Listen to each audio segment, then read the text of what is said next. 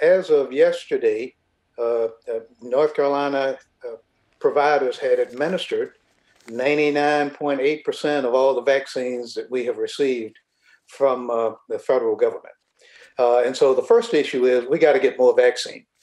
Uh, we got to get more vaccine so that all of these lines that are forming all over the state uh, aren't as long. We have the people in the state uh, who are overwhelmingly willing uh, to receive the vaccination.